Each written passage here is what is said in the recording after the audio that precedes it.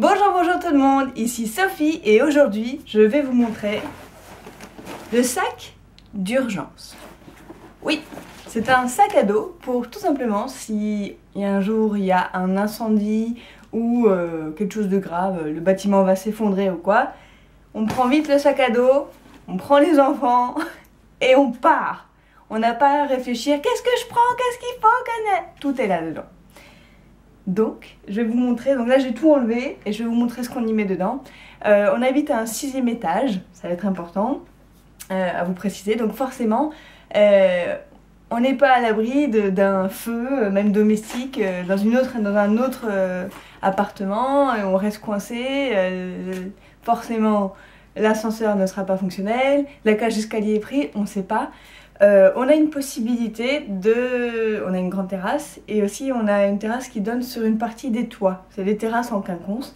Donc on peut encore s'échapper entre guillemets du bâtiment par là, mais on reste au sixième étage. Bref.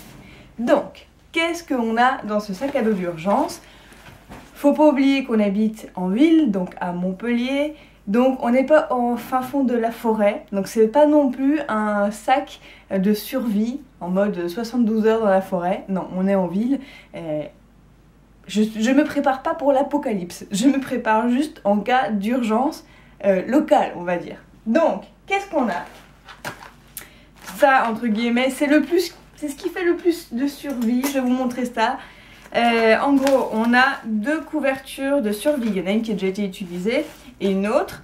Euh, et un paquet de mouchoirs. Alors pourquoi tout est sous plastique? Parce que si maintenant il pleut ou il y a eu les systèmes de sécurité avec de l'eau, etc., c'est pour tout protéger en fait.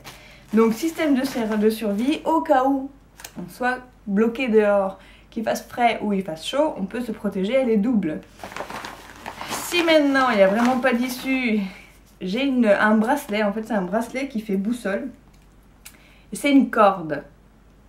Alors a priori, au moins un de nous deux aura son téléphone et donc on pourra voir comment ça fonctionne. Euh, j'ai encore jamais pris le temps euh, de réellement regarder comment faire. C'est une corde d'escalade. Donc on pourrait passer d'une terrasse à une autre avec ça. Ensuite, on a des allumettes au cas où. On doit se faire un feu parce qu'il fait froid ou quoi on a ça. Donc ça c'est vraiment si on reste bloqué sur les toits pendant toute la nuit qu'il fait froid. Ensuite, toujours dans le même truc de survie, on a une petite cloche. Alors c'est con, mais si maintenant il n'y a plus de lumière parce qu'il y a le feu, etc., pour alerter qu'on est là, parfois, c'est plus facile de se faire entendre avec une cloche. On n'avait pas de sifflet, alors on a fait une cloche. C'est ce qu'on avait à la maison. Et ensuite, j'ai un petit kit de survie comme ça, que j'ai acheté tout fait. Euh. Donc il y a un peu de tout, il y a même euh, les instructions. Euh, on a des pinces, petits canifs. Donc ça, c'est une pince comme ça. Plop, Bref, si on a besoin de couper un câble ou qui nous gêne, ou, je sais pas. Un vrai canif qui coupe. alors ils ont mis vraiment de tout. Hein. Il y a bougie, j'ai rajouté un briquet au cas où. Euh, il y a un fil comme ça qui coupe pour couper les choses. De quoi coudre. Il y a un compas avec boussole. Euh, voilà, il y a vraiment un peu tout. Il y a même du sel et du poivre. Enfin, c'est vraiment... Et une petite boussole en plus. C'est un kit tout fait, donc euh, j'aurais pas forcément mis tout ce qu'il y avait dedans. Mais je me suis dit, ça peut être utile. Il y a un crayon. Ah, il y a, il y a d'ailleurs, je n'avais pas vu, il y a un petit sifflet de distress, comme ils disent. Donc voilà. Et, c'est vraiment bien clipsé, vous avez pu l'entendre. Donc, pas de souci d'eau qui peut passer. Vous reconnaissez ça? Si on a soif, on a notre verre. Si on veut récolter de l'eau de pluie ou je sais pas. Ensuite, on a évidemment une lampe torche qui fonctionne. Euh, et du papier toilette.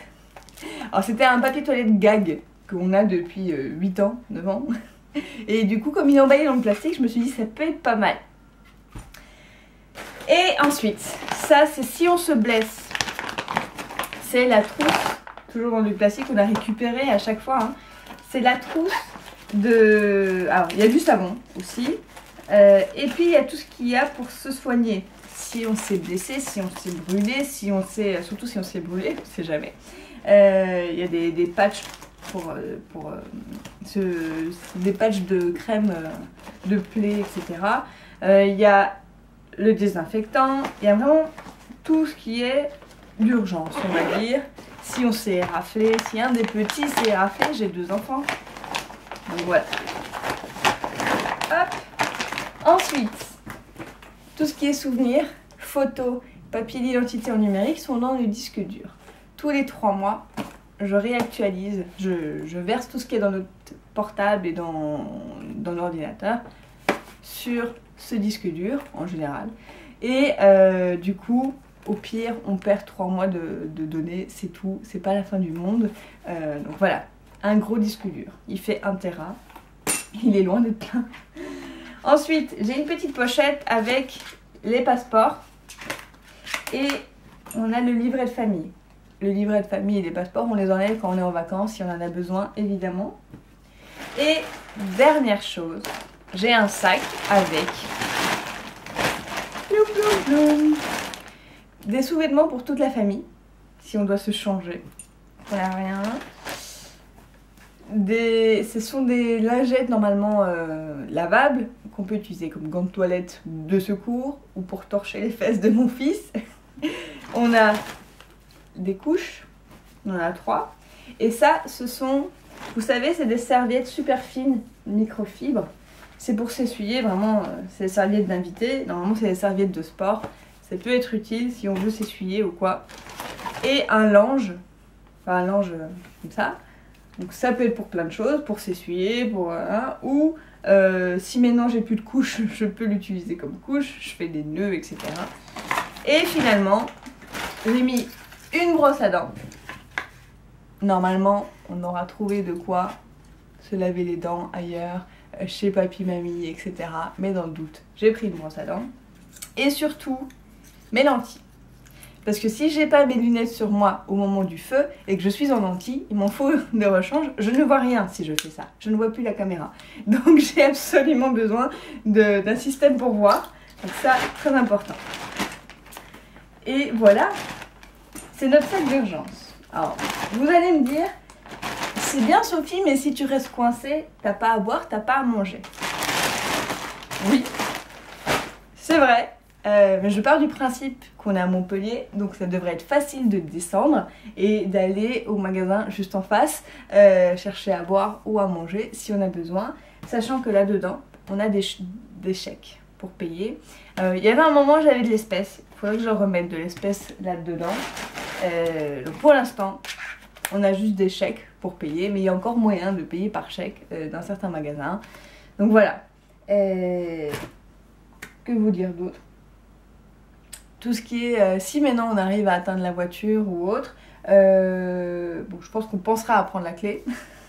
Et sinon, il y a le permis de conduire en numérique sur le disque dur si on doit le prouver qu'on l'a. Voilà, voilà. Et ce sac, très important, il est toujours accessible. Il est dans le meuble de l'entrée. Il est en hauteur.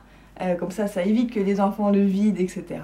Mais il est accessible pour nous. On n'a plus qu'à le tirer et on part. Donc voilà, j'espère que ça vous donne envie de préparer vous aussi, de réfléchir à ce que vous avez besoin si vous sortez, euh, si vous avez, devez sortir en urgence, il y a un incendie, etc. Nous, ça nous évite vraiment le, le l'effet de surprise, entre guillemets. Ah, qu'est-ce que je prends? On prend nos enfants, on prend le sac et on y va. Euh, on sait qu'on n'aura pas perdu tous nos souvenirs, ils sont là. Et euh, voilà, il y aura des souvenirs matériels, ok, mais au moins on sera tous en vie.